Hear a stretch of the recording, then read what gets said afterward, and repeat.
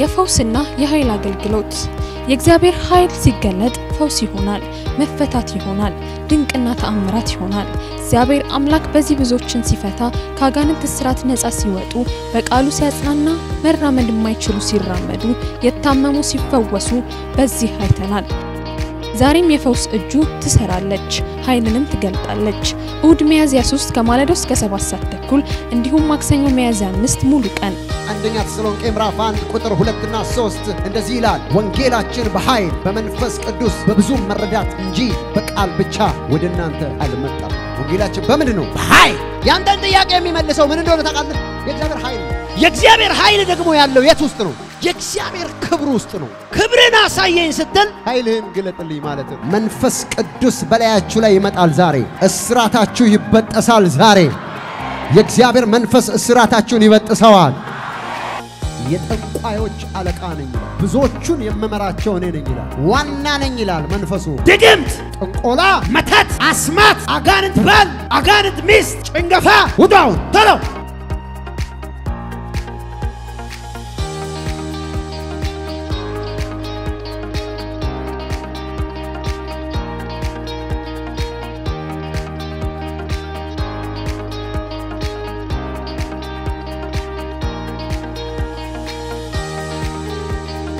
ይዘናታል። ድግም ከሶስት ቦታ የሶስት ሰው ድግም የዘር ማንዘር ስድስት ስልሳ ስድስት ሁላሊቷን ማንዘሯን አበሰበስ ነው አበሰበሳችሁ። ቤቷን ሰርታ እንዳገባበት አቃጠልከኝ፣ አቃጠልከኝ። ወይኔ ምንድን ነው ያስቀመጥከው? ወይኔ በሽታ ነዋ፣ ጨጓራ ነዋ። ተቃጠልን እኮ በናዝሬቱ ጌታ በኢየሱስ ስም ልቀቁና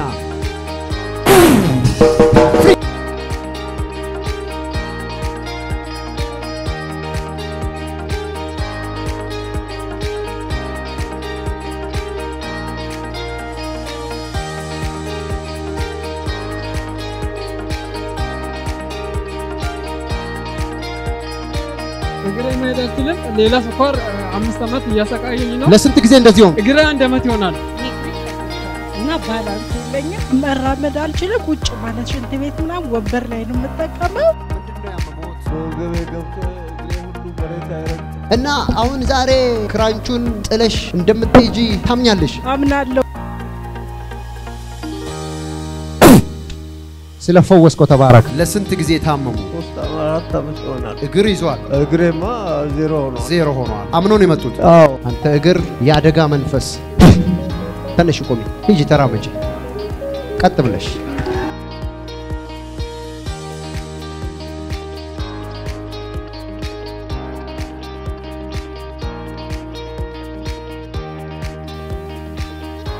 ና ተራመድ። ለጌታ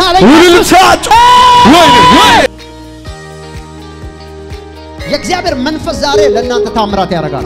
ሰለሞን እ? ተበላው እያልሽ ጭንቅላትሽን ይዘሽ ስትጮህ ያለው አሁን አንቺ አጣብቅኝ ውስጥ ገብተሻል። በሁለት መንገድ ውስጥ ነው ያለሽ። እግዚአብሔር አምላክ አንተን ይፈታል። ትልልቅ ምርኮ ይገባል። አሜን። እግዚአብሔር ትልቅ መኪና ይሰጥሃል። አሜን። አንቺን ከማፈራረሳቸው በፊት አሁን እኔ እንደ እግዚአብሔር ነቢይ ቃል አወጣለሁ። ጠላቶችሽ አሁን ይፈርሳሉ። አሜን። በ22 ዓመት በ1991 ነው የጀመረኝ አስሙ እና እዚህ ጋር ፍንሽ በማስነጠስና በመናፈጥ ነው የምታወቀው። ሶፍትና ጨርቅ ከእጄ ላይ ጠፋ። አስም ነበረብሽ? አሁን እዚህ ሲጸለይ ምን ሆነ? በቃ ንጹህ አየር ተነፈስኩ። ክፉኛ በጣም ታምሜ ቤተሰብ ተስፋ የቆረጠ ሰው ተስፋ የቆረጠው ነበር። በሽታው ስኳር አሉን፣ ኩላሊት ኢንፌክሽን አሉኝ፣ አሞት ጠጠር አሉኝ። ከየካቲት 8 እስከ 12 ስረዳ ቆይቼ መጨረሻ ላይ እዚህ ነው የሚፈወሰው ብዬ መጣሁኝ። ሮብ ጠዋት ተጸለይልኝ ነቢዩ።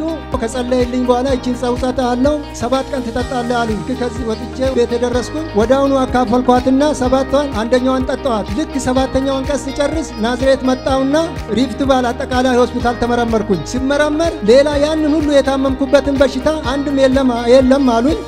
የእግዚአብሔር ሰው እቺን እህታችን ከሁለት ዓመት በላይ ማለት ነው በጣም ያስቸግራት የነበረ ወላ ጭንቅላቴን ይዞኝ ማይግሪን ሁላ ነው የሚመስለኝ በጣም ከመጨነቄ የተነሳ ግን አሁን ደረቴ ላይ ንቅል ብሎ ነው ይወጣልኝ እያለሽ ኢየሱስ ይባረክ እና እዚህ ጋር ለሁለት ዓመት እዚህ ደረትሽ ላይ ነበር። ደረቴን ያመኛል፣ እንደገና ጭንቅላትንም በቃ ከላይ ከዚህ በላይ በጣም እያመመኝ ነበር። አሁን ከተጸለየ በኋላ አሁን ደህና ነኝ። አፍንጫዬን ራሱ እያቃጠለኝ ነበር። እኔ ለአንድ አመት ያህል ከስኳር በሽታ ጋር ቆይቼ ነበር። ስኳር በሽታ ብሶብሃል ተብዬ ክኒን ታዘዘልኝ። Anointing ቻናሉን ደግሞ ያይ ነበርና ይሄንን እንደዚህ ሽባውን የሚተረትር እግዚአብሔር ሌላውን ሰው የሚያድን እግዚአብሔር እኔንም ያድነኛል እና እስከ መቼ ነው ይህን ክኒን መዋጥ የሚችለው ብዬ እዚህ መጣ ተጸለየልኝ። ከዛም በየሶስት ቀኑ በየአራት ቀኑ checkup እያረኩ ነበር ክሊኒክ እየሄድኩኝ። ከዛ በኋላ የለብህም የለብህም ተባልኩኝና ከስኳር በሽታ ይኸው አንድ አመት ሆኖኛል። የስኳር በሽታ እህታችን ደግሞ ድፍን አምስት ዓመትና ከዛ በላይ ነበር ዓመት ነው እዚህ ጋር የሚያመኛል። የሚይዝሽ። አስሙ የሚይዝሽ አሁን ምን ሆነ? ዛሬ እንደውም ለመዘመር እንኳን ትንፋሽን ይዞኝ ነበር። ኦሮሞሺ ካባቲያማ አሁንስ ሰላም ነኝ። በእነዚህ ቀናቶች ወደዚህ ወደ ተቀቡ የእግዚአብሔር ሰዎች ዓለም አቀፍ የወንጌል አገልግሎት ቤተ ክርስቲያን በመምጣት የጌታን ፈውስና ኃይል ይካፈሉ።